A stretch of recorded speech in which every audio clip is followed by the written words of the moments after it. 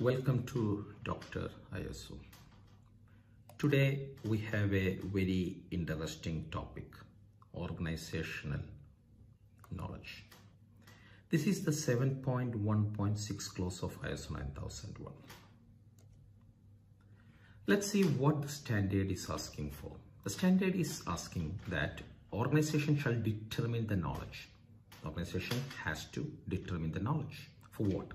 For the necessary uh, for the operation in order to achieve the conformity of products and services. So this is the necessary knowledge for you to run your business. Now, the next step that the knowledge must be maintained and made available where to the extent necessary. Now, when you address the changing needs and trends, you not only need to consider the current knowledge and also need to address the necessary additional knowledge which you may need during the phase of operations. So what is an organization knowledge? This is the knowledge specific to the organization. For what? In order to achieve the organization's objectives. So for you to achieve the objectives, you need to have some information, some knowledge specific to the organization. That is called organizational knowledge. Now, the knowledge can be both from internal sources and external sources. Now, let's see these two. What are the various internal sources? Number one, intellectual property. As you know, and being an organization, you have a lot of intellectual property. As an example, you are a manufacturer of a hard drive. So you have the technical specs of the hard drive. You have the material composition of the hard drive. So this is the intellectual property. You have people with the knowledge. This is intellectual property. Knowledge gained from the experience. So as year passes, the, no the organization gains a lot of knowledge. This is used for future. Now, lessons learned from failures and successful projects. This is again linked to the experience. When you run an organization, naturally you will have failures. You will also have success. But through the failures and success, actually you are learning. What is this learning? It's a knowledge. Now, you both capture and share undocumented knowledge and experience also within the organization. As you know that many people, their experience are not recorded, but they are working in the organization. So you have that type of internal source for the knowledge.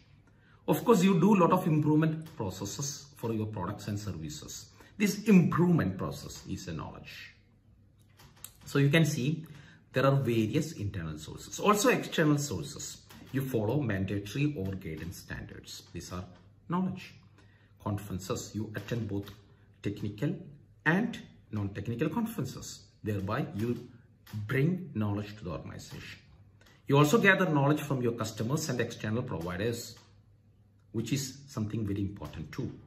Now, once you have the knowledge, important is you being an organization, you need to identify what type of knowledge do I need have and what type of knowledge do I need to keep it retained within my organization. That can be from internal or it can be from external sources. Once you know, you need to make sure these are available at the point of use.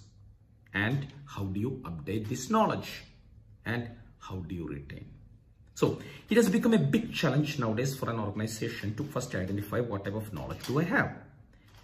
The knowledge could be your designs, your processes, your people's knowledge,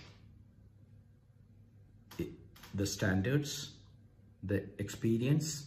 Now, where shall I keep? How shall I keep? Shall I keep it as procedures? Shall I keep it as data sheet? Shall I keep it in data media? Shall I keep it as pictures? Shall I, in which point shall I provide this knowledge for future use? Then comes, how frequently shall I update them? There are some knowledge with people. How shall I record or retain them? How long shall I retain this information? So for the success of an organization, it is nowadays very important that you manage your knowledge by identifying, making it available, by updating and by retaining this knowledge. So I wish I could give some good information to you about the knowledge management, which is one of the requirement of ISO 9001. But I'm sure this is a requirement of any organization to be successful. So thank you and always be in touch.